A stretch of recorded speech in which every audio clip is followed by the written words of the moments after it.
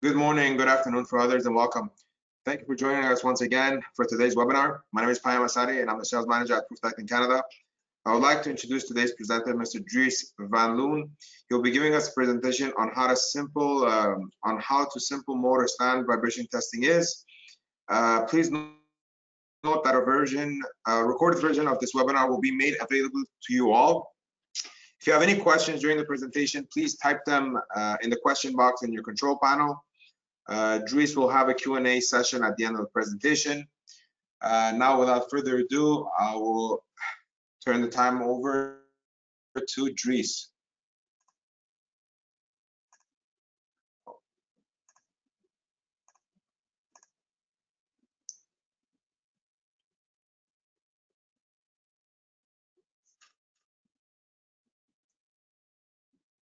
Dries, you there?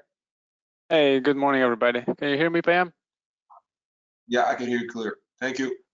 And you can see my screen with the full presentation as well? Yes, sir. Okay, perfect.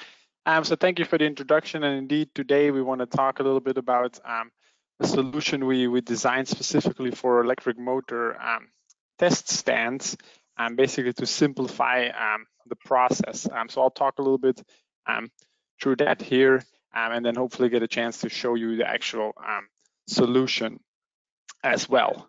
Um, so let me talk first a little bit about, about the challenges of acceptability testing, maybe the concept of acceptability testing if, to make sure it's, it's clear to everybody, um, and then uh, why we, we designed um, this dashboard. Um, and then I'll dive in a little bit more into details of the actual solution and, and from the hardware perspective as well as the software and the two different components there, and then hopefully get a chance to uh, give you guys a live demonstration um, as well.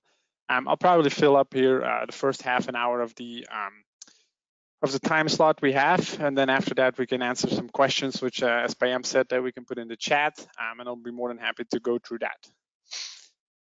So if we talk about um, the uh, challenges today for acceptance testing. And when we talk about motor test stands uh, acceptance testing, we're really talking about electric motor shops. Uh, you just rebuild a motor, um, and now this this motor needs to be somehow um, accepted by the customer, or maybe for your internal um, uh, procedures and, and, workflows. You say, hey, we need to do some some tests on this motor um, to assure that it complies with certain acceptance criteria. Um, before we ship it out to the customer, right? So basically like a, a quality guarantee that the, the, work you've done um, is, is good. And also from a perspective, maybe some kind of uh, insurance, right? That you can prove towards your customer saying, hey, this the motor that we rebuilt for you or the gearbox or whatever type of equipment um, was in good condition without any any uh, indications of um, of potential issues uh, when it left our shop right after rebuild. So uh, one of the challenges there is that um, we've seen from from customers that the requirements are becoming more and more complex. And below there, you see I put a put a screenshot of the um, of one example of a, of a customer saying, "Hey, these are the specifications an electric motor needs to comply with right after rebuild." And so we're not just simply talking about an an ISO 10816 or something, saying, "Oh, just an overall value out of a a certain velocity um, range. no, they're talking here about I had the first one, that overall velocity, and then each specific band, right? They talk about subsynchronous and then 1x and 2x, 3x, uh, and all the way through up to high frequencies. And for each, they have a very specific um, range that it cannot exceed. Uh, they define how it should be measured, so this is not just somebody who can walk up with the vibration pen and take an overall reading, say, ah, this is less than uh, 0.1 inches per second, uh, we're good to go. And that's really what we've seen from, from more customers that they're coming with, with more and more specific requirements because obviously they're also trying to um, trying to protect themselves, right? Um, and for future, they want to make sure that everything that comes back into the plant um, complies with a certain um, standard. And so we've seen more and more of these um, requirements that are that go in high detail and, and, request very specifically what should be measured and how it should be measured, um, and then which levels it should comply with. So it's really not the easy test anymore.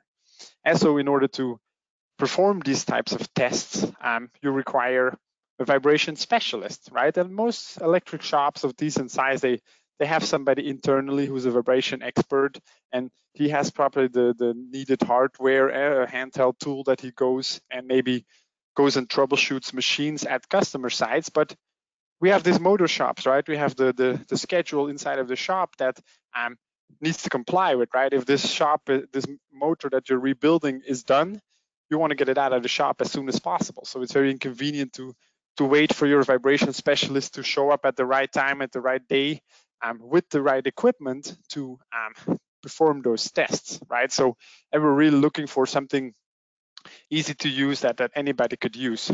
And then if you if you have your vibration specialist who's going to show up with his handheld device and while the motor's on the test stand and collect um, the data, uh, he can build this this uh, these specifications in his device. That should not be a problem with an advanced analyzer like a VIBXPERT or or something similar.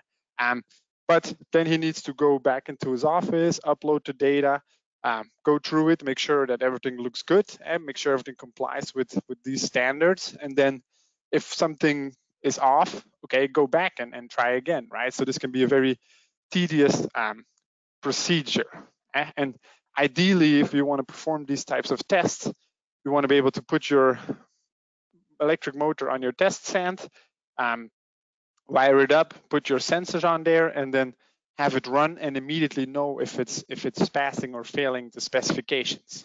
Um, so that's really the goal. Um, so uh, what we do, what we define is okay, if we're going to work on a solution for this, it should be ease of use as the main focus. Uh, anybody who goes into this electric motor shop um, or is part of this test stand operator should be able to perform these um, tests. And you don't need to have your vibration expert um, then and there at that moment that you want to run your test to to be able to um, take the proper data. Um, we wanted to use uh, use our existing hardware at the VIBGUARD um, online system, um, and we want to be able to um, have a pass or fail um, feedback, instant feedback saying, hey, did this machine pass or failed the test? And even with the most complex test specifications, as I showed you one example there earlier.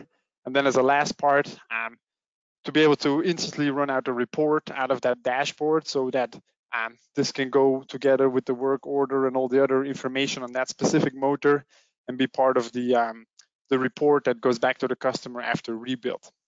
As to ease of use, use our existing hardware that we already have, um, pass or fail um, requirements, and then um, an instant report. And that was really the goal of this uh, when we went into this project uh, to develop this solution.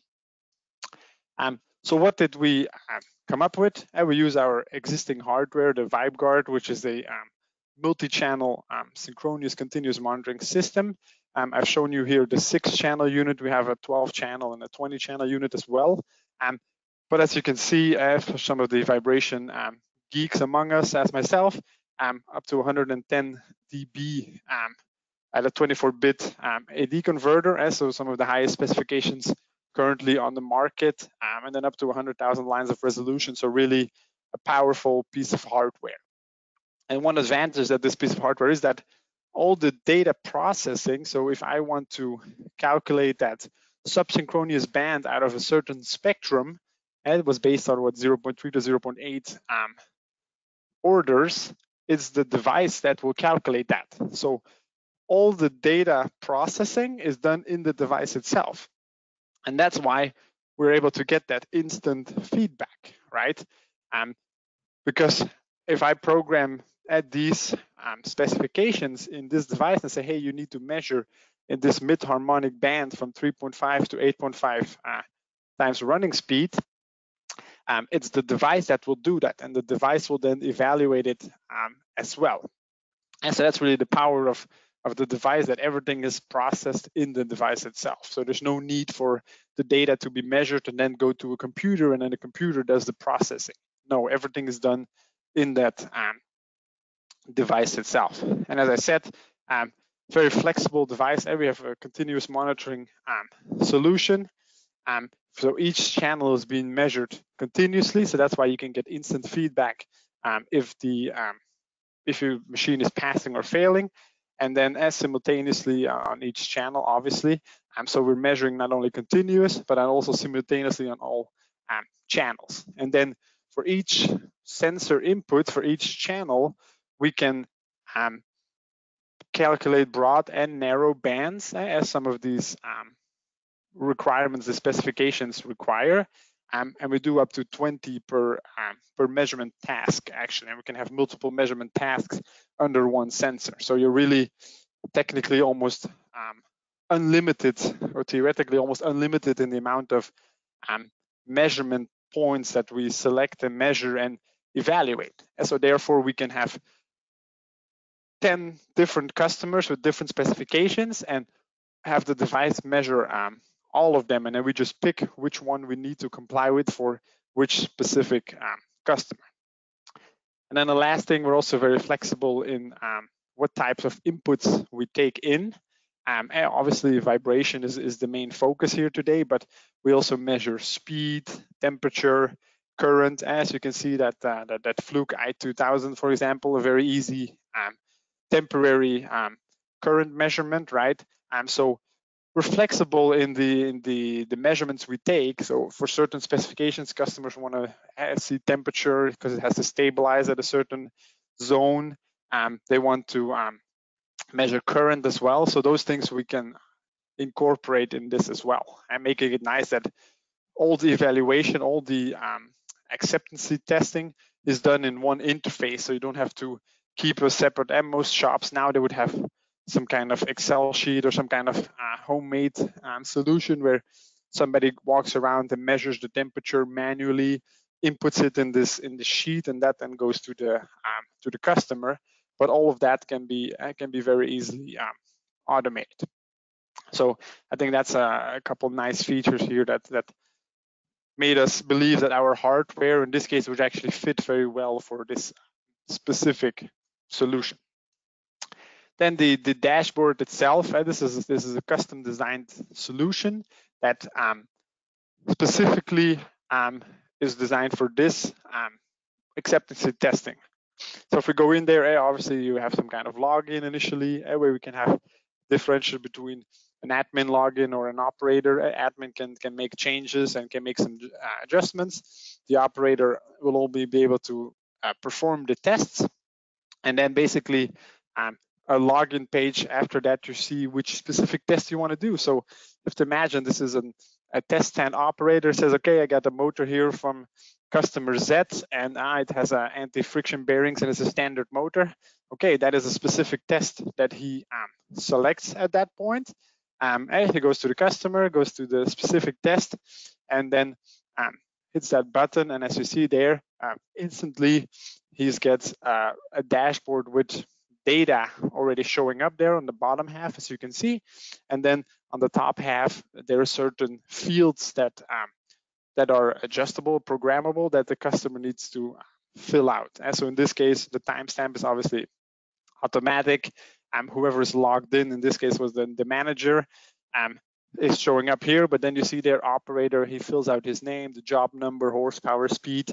If there's other um, parameters that you would like to log and that are linked to this specific test that can be filled in as well. And then in the meanwhile, the um, the test can start. And you see on the bottom half here, that's where the uh, the live data shows up. Um, and then in this case, we're seeing um, at a different um, evaluation parameters here in this uh, uh, vertically um, written down here, and then the live data right with it, right? So obviously this was the screenshot was taken when the um, machine was not running but as soon as the machine would start up you'll see that the speed starts showing up.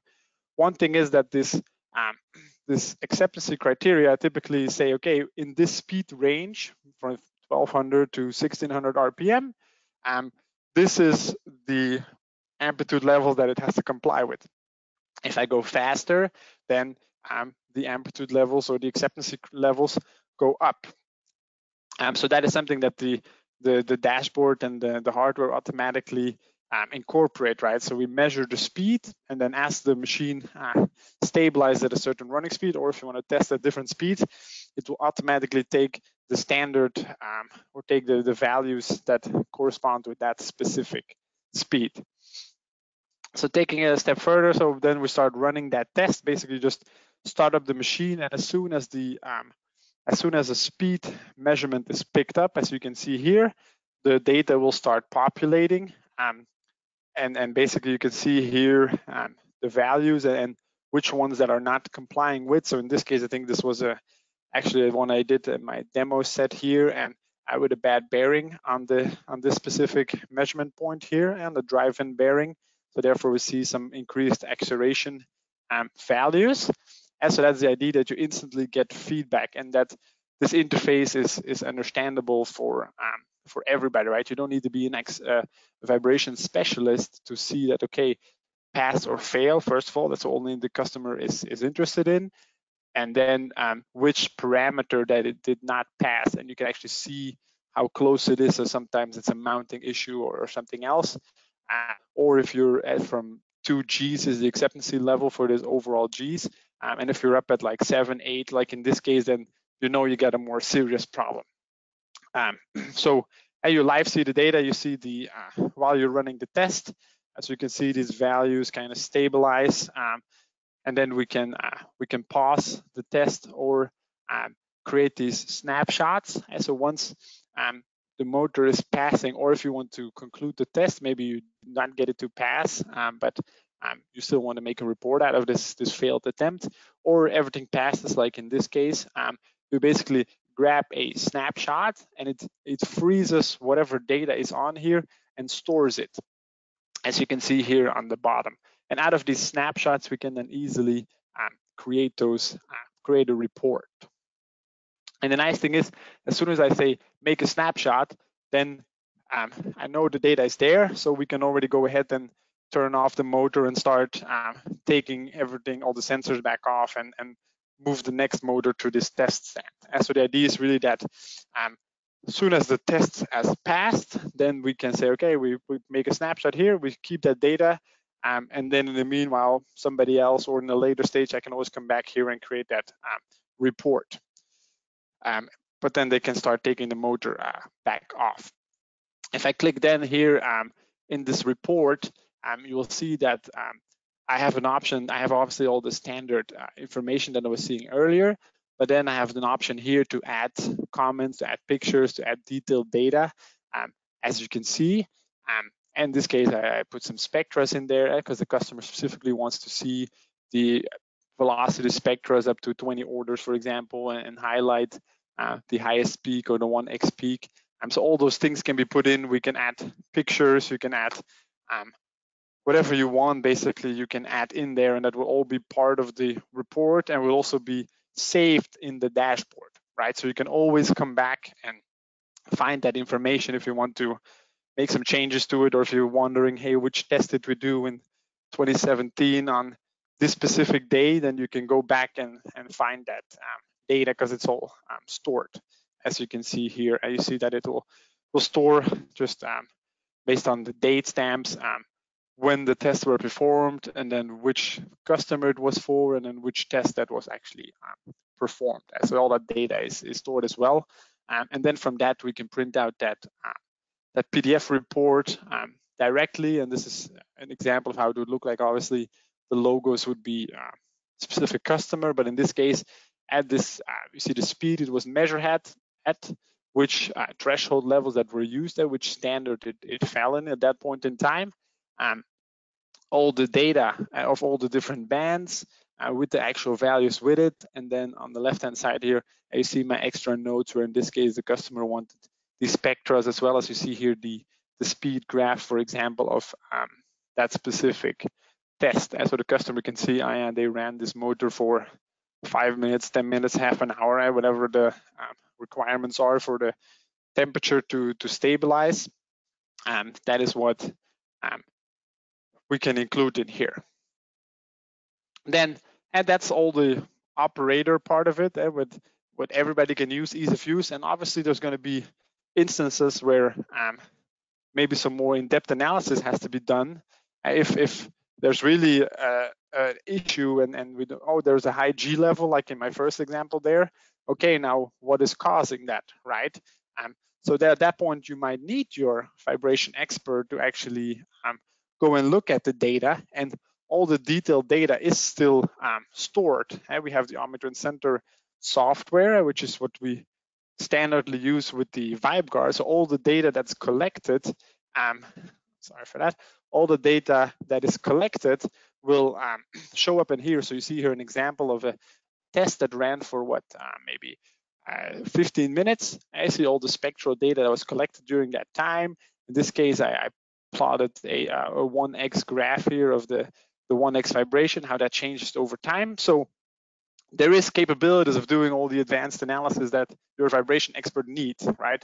The, big advantage is you don't need your vibration expert to be there then and then when you want to do the test. No, because all this data is stored in the background and, and he can always go in there and um, go find out if that specific motor um, had an issue and did not pass the test, then your vibration expert can always go back into the um, can go back into the software and go have a look at what was causing it. And in this case, you see that my high G level is explained by these impacts, um, and those were a result of a, of a bearing issue. Um, so all that advanced data is available, and um, your vibration specialist can still go in there and, and do a full-blown um, analysis, right? And and have access to this data if, if certain customer want to have it um, included in the report.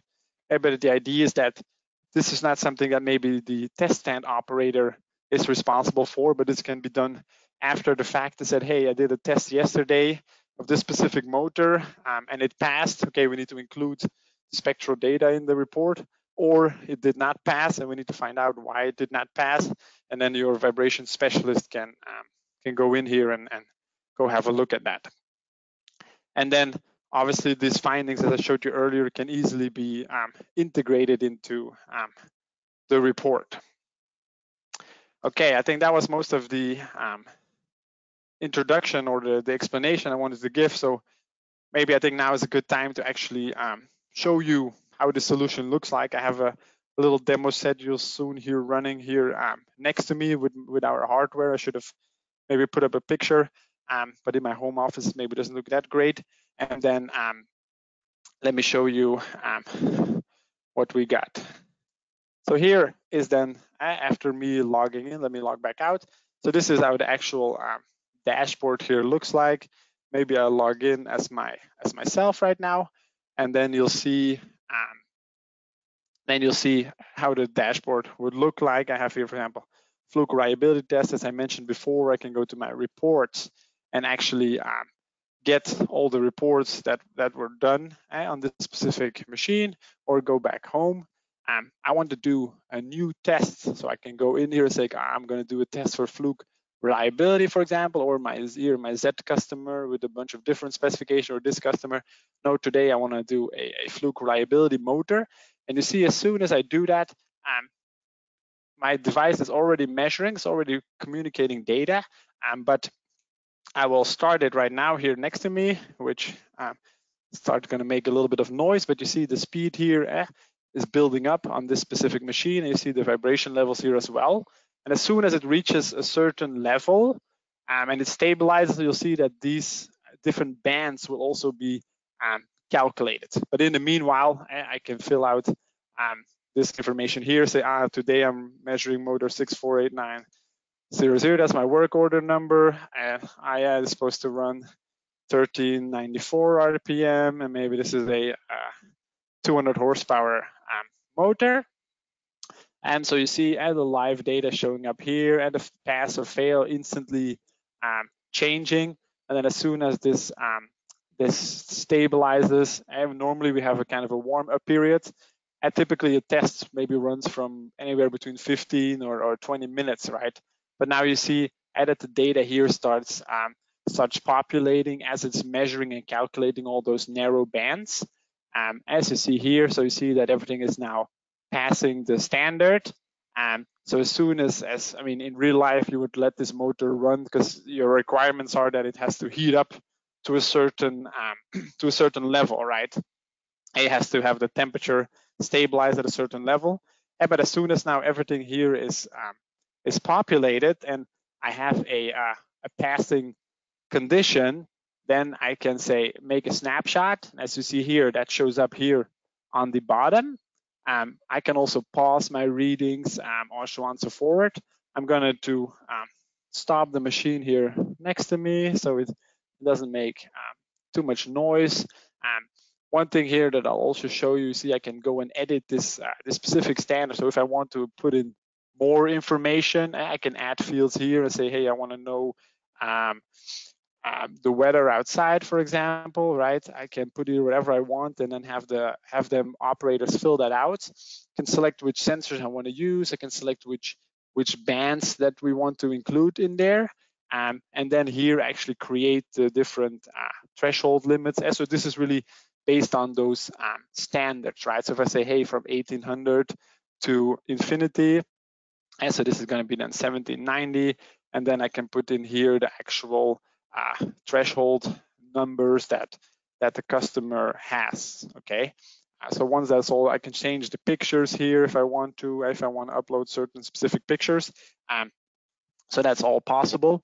Um, then uh, if if I want to change that as as this login, but in general the workflow would be okay. We go and then create a report from these uh, from this specific finding. So you see here the speed that we did the test on, timestamp, and who did the test, uh, work order number, all information I put in, the weather, uh, which I did not put in right now.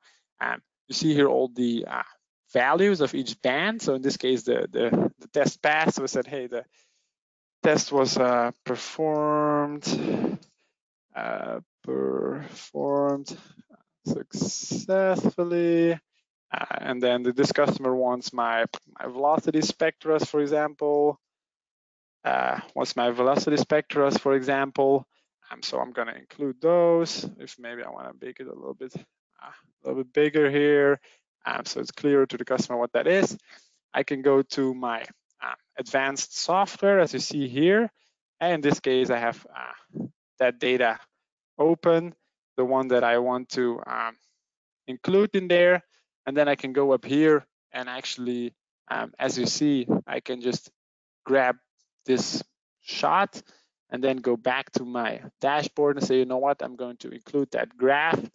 Um, and it will actually, oh, it switched to where I, where it is, but let me just go back there real quick. Here is all those snapshots are stored. So you see, hey, today at 8.26 a.m. here in, on the West Coast or in sunny San Diego, um, I can select that, um, that specific graph, there we go.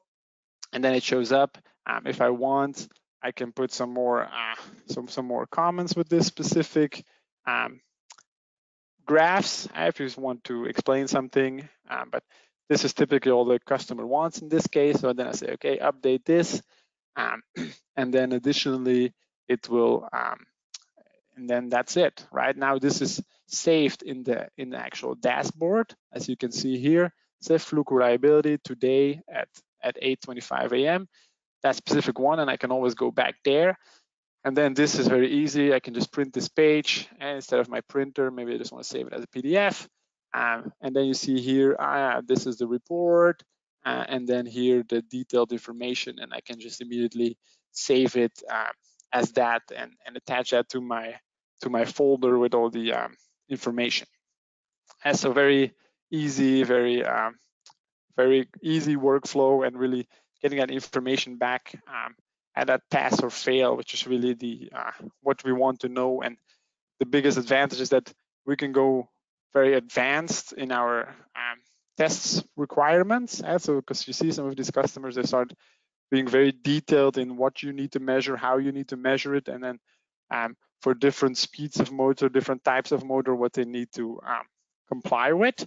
Um, but uh, that can all be done very easily once this, this device is set up and the software is set up, can be done very easily and very quickly um, by anybody. That's really the idea that that anybody can go and uh, collect that uh, collect that data. So that's really what I what I wanted to show you and, and a little bit quicker here this morning. But the idea is that we have an, an, easy solution, and and that's really what I think I was um, that it can be very easy. Um, I think we'll we'll open it up here um, for for some questions.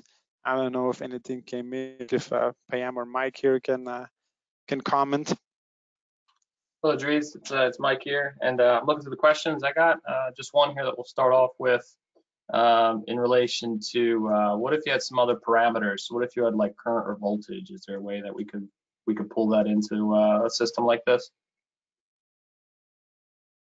Um, we could do is, and I can actually show you, um, what we could do here, if I go back to my, uh, my overview and to a specific um, test, um, in here you saw that I can edit, and then um, if there is, in this case, we just have a six channel device, but if we have more uh, channel device, for example, or we'll just take hypothetically this channel number six is going to be um, vibrate, uh, is going to be current, then you see here, for example, and this is my current band, right? So you see as soon as I select it, it will show up, and then I can put in um, parameters, and that could be for any any type of input. So if we're getting temperature, you could say, hey, the temperature cannot be. You would um, in this specific standard, you would just select your temperature channel, your temperature input here. Um,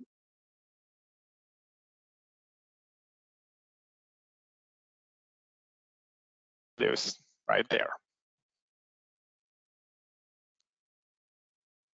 So that's just that is fairly easy to to to set that up. And that's the nice that it's, it's flexible enough to accommodate inputs and different um, some of these advanced um, standards that customers uh, bring to the table, um, but then with an very easy to use interface, right? That anybody really without without training you could pick up. And um, if I go here, I mean, you really don't need training to be able to select which customer, uh, maybe this customer, and then um, don't really don't need training to, and MEC immediately loads that specific um, custom requirements with the the appropriate levels, and you can start running your test, right? So I'm really uh, straightforward and easy interface to, to perform these complex um, tests that or the, these test requirements that are becoming more and more complex. Okay, thank you, Dries. Um, I got another one here. Uh, is uh, and it's about the levels. It's like, uh, so what if you don't know what the levels should be when you're doing a test like this? What's maybe some resources uh, someone could use to help them out? I mean, there is some standards out there um, that, that you can find. So and other um, organizations, they put out standards there. And what what I tell um, what I tell my customers, say, hey, or, or some of our customers are actively using this dashboard today, you should come up with your own standard. If the customer is not requiring, make your own standard, um, and that um, because then you can make this part of your standard. Every motor that leaves your facility, you can say, hey, this was tested against, if they don't specify it against our own standard, and you will always have a um, a leg to stand on, right? You have the data to prove that this motor was good when it left your shop. Um, not only the the uh, the requirement data, but you also have the uh, advanced data available. Um, so you always have some kind of uh, something in your hands, um, and it can be part of your um, really nice towards the customer saying, hey, with the the rebuild of your motor, and here is the vibration acceptancy or the acceptancy report, including vibration, current, um, temperatures. Um, so they know um, that you guys really take uh, take this acceptancy um, serious. And also, you can find issues before uh, a motor goes back to the customer. Right? Let's say something went wrong when installing a bearing, um, and it will show up here. Um, it's better that it shows up in your own shop that you can put a new bearing in instead of um, having it go to the customer and the customer then has to send it back to you whenever he has it installed um, and then come back to you saying, hey, I think there's something wrong with this uh, yourself And you can save yourself a lot of um, headache that way. Um, when it comes to real at the actual values that you should put in there, as I said before, there's there is some standards out there um, that that are available, um, and yeah, that's probably the best I can say because it really depends on what type of motor and then you see your anti-friction bearings or um, if I go back, um, most of the times I talk about sleeve bearings or anti-friction bearings and then they divide it in different speed ranges, what these should be um, acceptable limits. But I think there's some good information out there uh, that you can find uh, like organizations like ISO and, and so on and so forth that specify those kind of things um, for you. Perfect. Thank you, Dries. Um, we got another question here uh, asking like, is there another way that this system could be used? So we're talking about motor test stands here, uh, but is there some other application that maybe you can think of where this would also work?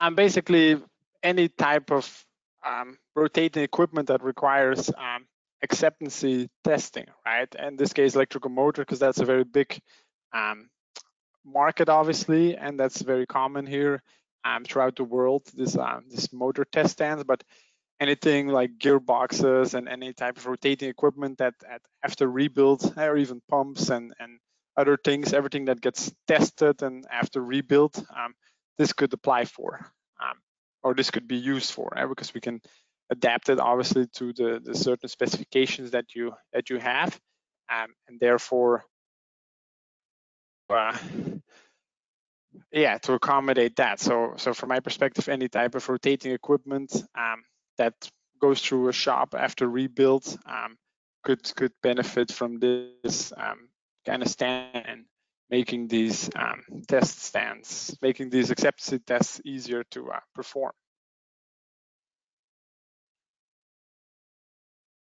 Perfect. And then uh, I think we'll just wrap up with one more here. Uh, with this, um, I mean, so looking at this, this looks to be like an HTML based, just what was the underlying architecture that kind of allows this system to work? Yeah, so indeed, it's the the interface is, is indeed just an HTML it's through a web page. and but basically, what we run is is internally we we install our physical hardware, the VIBGUARD that I showed you. Um, but then um, additionally to that, we just add like a little industrial um, computer, and that industrial computer basically runs this um, runs this dashboard. And so there's and once that dashboard is installed inside your network, then you can access it from any um, any computer just through a um, a web-based interface. Um, I mean, through a web-based interface to an HTML page, but the HTML page is running inside of your own network, right? So, um, and then obviously the, the coding in the back goes a little bit too far, I think, for a webinar like this. Um, but the dashboard itself can be accessed through a, a standard internet browser, and after this this industrial PC is installed inside your own network, so there's no need for an internet connection or or getting data to a cloud. That this all runs inside your network. Um, yes.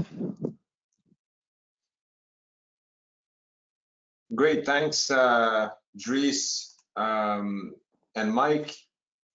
Um, I want to thank everybody for joining. We appreciate you being here. Um, if you still have any unanswered question, please reach out to your local representative or send us an email to support.na at pruftechnik.com. Uh, a special thanks goes to Gabriela Alvarez as well for setting up all these webinars. Uh, it's a huge help to our organization. Uh, furthermore, join us next time on June 25th on cardan shaft and multi-coupling alignment uh, with David Metz. Thanks again for joining us today, and we will see you next time. Thanks again, everybody. Have a great day. Thank you.